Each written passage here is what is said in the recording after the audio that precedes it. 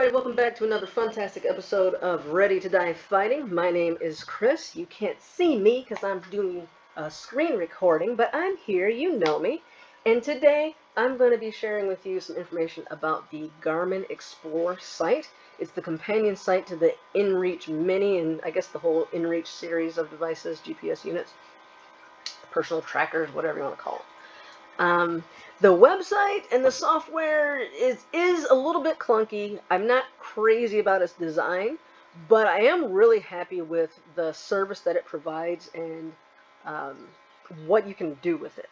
It took me a, a little bit, took me a minute to understand exactly how it worked and what was going on, and also what this device was actually for. But once I got all that down and worked out the bugs, because you know what I'm always talking about is you got to test your gear. You can't just buy stuff and think it's going to work when you need it. I had to spend a lot of time testing this stuff out. And once I did all that and figured it out, I really like it and I highly recommend it. So I'm going to walk through this site just a little bit with you. I'm not going to be able to cover everything on it because I do not want to compromise my own privacy and some of the stuff of giving my location and phone number and all that. I'm not doing all that, but I will show you some of the other good stuff that, uh, you know, doesn't compromise anything. So like and subscribe if you enjoy these videos, and let's get to it. All right, so this, like I said, is the companion site to the InReach Mini, the InReach Mini 2. There's, a, I guess, a full-size InReach. There may be some other devices that I don't know about, but those are the ones I'm most familiar with. I think there may be a watch or something that can also use this. Um, and so this is just the home page. And once you have a subscription, and yes, you do have to have a subscription to use the InReach Mini to its full potential. I don't know that it has much use without it.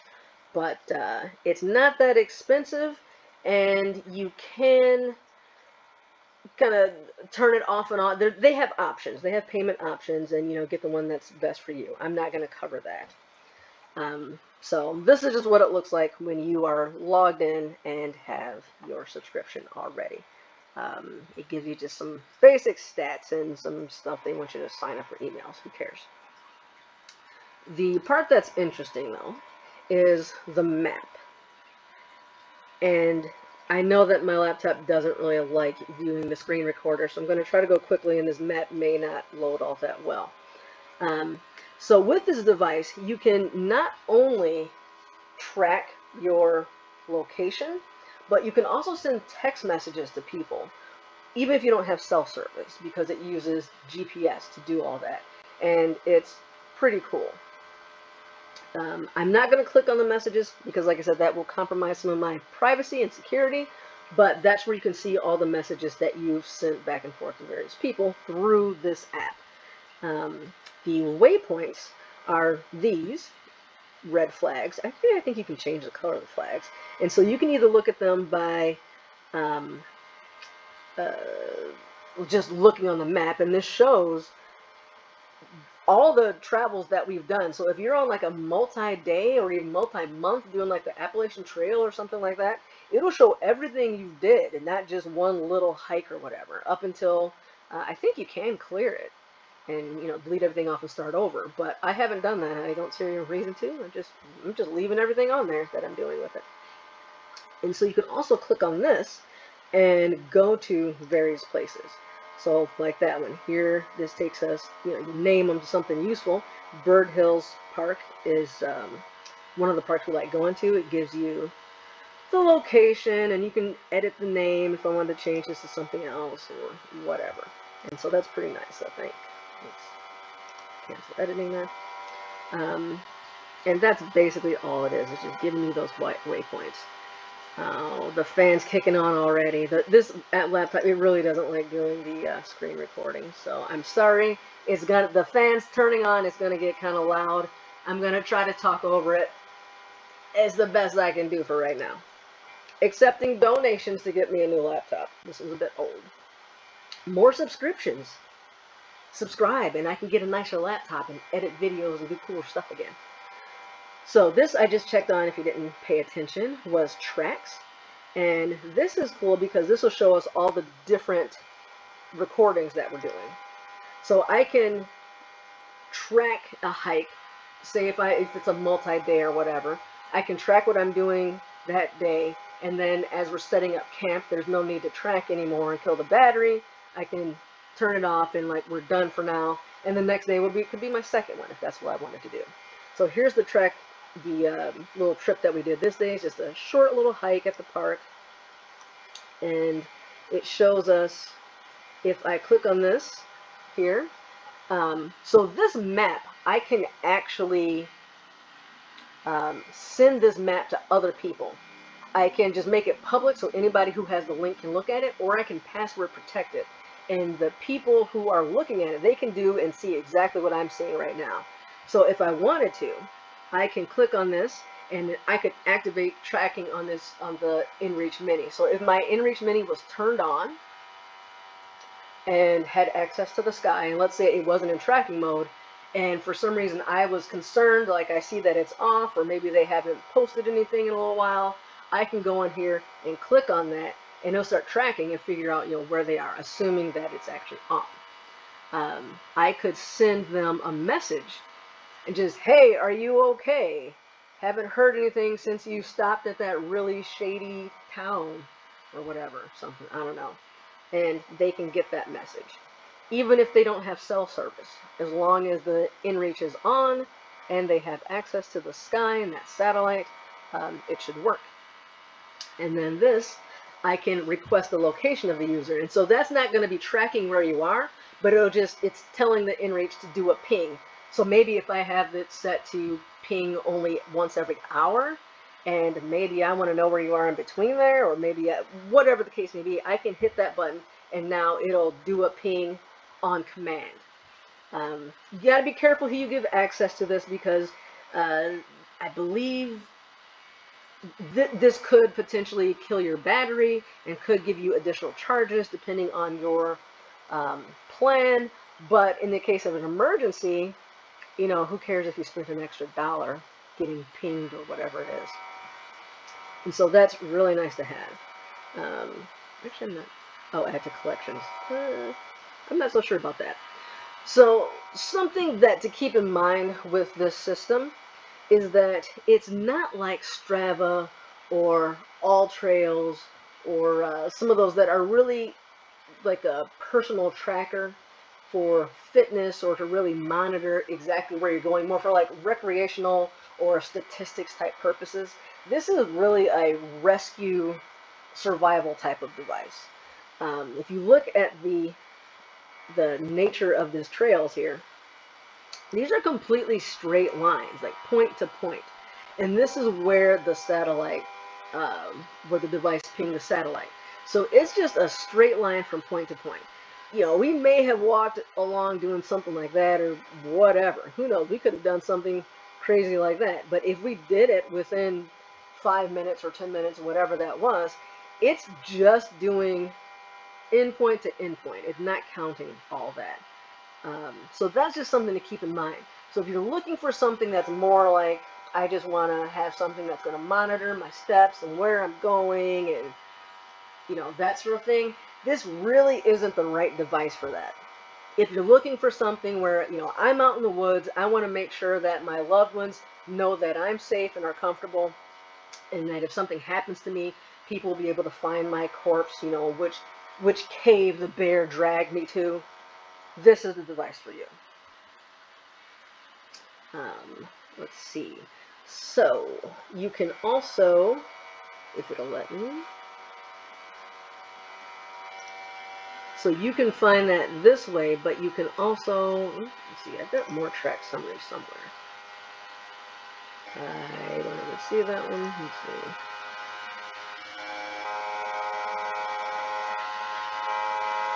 I was trying to find so because you can look at it that way and then you can also look for it. Okay so yeah there's that same one. You can just see it on the map. It saves all of these until you delete them. So if you've got multiple like I said you're on a month-long excursion and you're going a bunch of different places you'd be able to see all the different trails and hikes that you've done over over time. It doesn't reset after every time you stop and start it so I think that's pretty cool. Um, Plans and devices is exactly what it sounds like. It shows you a little picture of the device. It gives you its serial number, or not serial number, but it's um, whatever its identification number is. I forget what they call it. It's not like a kind of like an IP address or whatever. Uh, and it tells you what your plan is. I'm not going to click on that because some of my personal information would be displayed. Uh, I'm also not going to click on inbox, but that looks like exactly what you'd expect as well. All of your messages that you've received from through this app, through the software and the device, uh, are all going to be there. Contacts is really important because with especially with the InReach Mini, I can't speak to the other versions, but you have no way of programming the contact numbers or the messages or anything like that within the actual device. You have to do it all beforehand and then sync. And then once it's in there, you just kind of use the buttons to scroll up and down and see who you want to message and which preset message you want to use and that sort of thing. So you got to go into contacts before you go out into the woods and put in whoever you whoever you want your contact person or persons to be, and that's where you do that. Uh, messages, messages we're going to click on. So I've modified these so it's not showing the people who I normally would send this to. But here are your preset messages.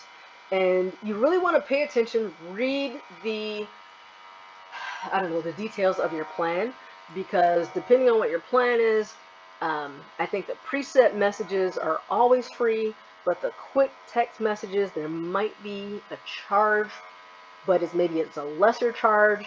And then if you do a message on the fly, there's a bigger charge for that or something like that. Read it, pay attention. I'm really only using the preset messages. Um, and you only get three, which is a little frustrating. To me, the most important one, though, is this first one that I always send out. And so I try to make a message that's, um, if the person replies, they you get a charge for it. So there's nothing dangerous happening. There's no reason to reply. So I put the do not reply in all caps. You know, but I want to let people know that Chris, myself, and then the people I'm going with, they're using their first initials because you got a limit on the number of characters you can use. So you want to make it short and sweet. And so basically letting everyone know who's in the party. Because sometimes it's just me, sometimes it's one dog or no dogs, or it's just me and Nate or whatever. So who's in your party, starting the hike, when I'm expecting to return, letting them know that they're my emergency contact. They probably already know that ahead of time, but just in case they forgot or whatever, and giving them the link to the website where they can track me. And the password. I just typed in 000. For now, that's not what the password normally is. And do not reply. And you can send this to multiple people. And they'll get it. They'll be able to click that link, see that map that I just showed you a minute ago, track where you are, ping you if they need to. They can reply through this. And you will receive those messages on your cell phone because the InReach is connected by Bluetooth to your cell phone. If your cell phone battery is dead, I believe you can still see receive those messages on the InReach itself. You won't be able to do a message on the fly. I don't think. I think you can only do that with the phone itself. I'm, I'm not 100% sure on that. I haven't tested that part out yet, actually. What happens if your phone is off. But even if your phone doesn't have signal, um, you can still get the messages because it's received through the device and then that uses Bluetooth to display the message on your phone. And then you can send messages back on the fly the exact same way. You can do the preset messages and the quick text messages completely independent of a phone, just on the little Garmin device. Um, so I have these three messages that I send out, you know, basically just letting people know that I'm okay. Um, probably should have one of them saying that I'm in trouble and to send help, but the Garmin has a SOS button. And so the purpose of that is for to actually get emergency help. I have not been able to test this. You're not supposed to test this. I do not want to pay any fees or whatever to have search and rescue come out and get me. But that is the purpose of it. You push that SOS button in case of an emergency, and search and rescue um, will try to contact you, but they will also get your most recent coordination or coordinates, and they will come and find you. And so that's like the really amazing thing about this, you know, just having that that uh, just emergency backup plan, no matter how far out in the wilderness you are. Um, now, if it's not that big of an emergency, you know, I'm not sure what that would look like exactly, but maybe whatever you anticipate. I have not gone on a major hike where I, you know, all of our stuff that we're doing, we're in we're in the metro area. You know, you can't walk too far without getting some houses. So I haven't felt that that was necessary to really test out or make a message for that. It's really just me testing things and uh, making sure it works. So you just hit the edit button. Look at saying, do not use preset to declare an emergency. The SOS function be used for emergency assistance. You can type in whichever recipients you want, put in your country code, um, comma to separate them, and then you can click on whether you want to share your map or not. And, um, and then it will do that. You can also, and so now you have to sync in order for it to actually take effect. Um, you can edit these to be whatever you want them to be, and that's it. So, that's awesome. Social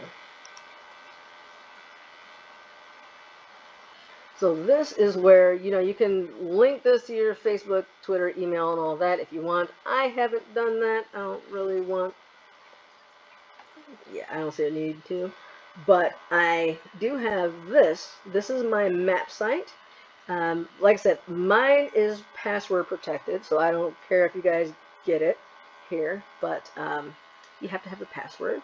I'm not going to click on this because that will give me some personal stuff, I believe but you can adjust your settings. You can change the name to something else uh, that's more appropriate to you. I think it's initially it's just like XY772 exclamation point. Uh, so you can make it something a bit more personal, assuming it's available. You can change your password. You can you know do whatever you want. And so when we click on this, this is the link that the people who oh I must, um, darn, let me see. I must have saved the password. Let me think, how can I, I must have some cookies or something. Um, let's see if I can copy link. And then let's go to Internet Explorer and type that in.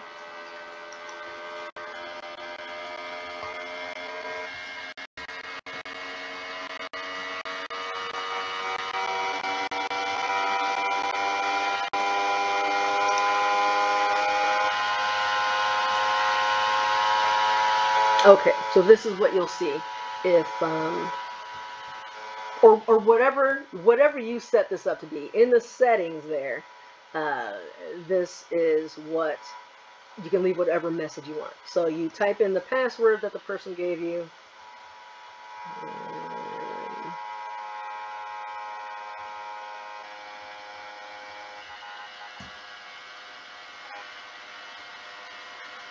And then, ow my password wrong.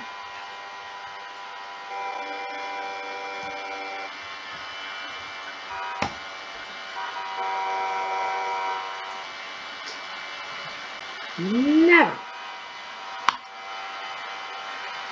And so now, this is the same map that we just saw before. So I can see all those same things. Uh, messages is um, smaller because I'm not showing all the messages. I think it's just showing the ones that maybe were sent, not the ones that were received, or something along those lines. I'm not going to click it to find out, but it's showing all the same tracks and waypoints and whatnot. Uh, it's got the little message that I left, and uh, there you go. I mean, that's kind of went, went through this already, but same map. Um, is there anything else here? I think that's about it. I am going to make another video, or maybe I already have by the time you're watching this. I can't No, I haven't made it yet, but maybe when you're watching it. I keep thinking about making a video about this inReach, and yeah, I think I haven't done it yet. Um, on the hardware side of it. This video turned out being longer than I expected, and I felt like I was talking fast. Uh, so that'll be a separate video, and kind of explain how the buttons work and what the screens on the actual Mini looks like itself. Overall, I do really like this uh, device. The software I think could be designed a little bit nicer, but I think it's overall really cool. And I do recommend it if you're going out into the deep woods or some long trek someplace crazy. But I don't really recommend it for a ride around, you know, a, a hike around the neighborhood, a little jog or a bike ride or whatever. You don't need it. It doesn't make sense to me to pay for a subscription and to carry an extra device. You can just use your cell phone. So thanks for watching. I hope you enjoyed. I hope it was helpful. And I will see you guys in the next video.